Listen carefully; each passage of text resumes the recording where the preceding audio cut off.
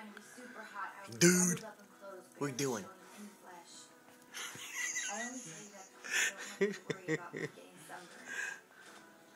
What? Are you recording that? It was very sisterly of you. We doing? You are so Get Actually, I'm a genius and philanthropic, and you're a backstabbing bitch.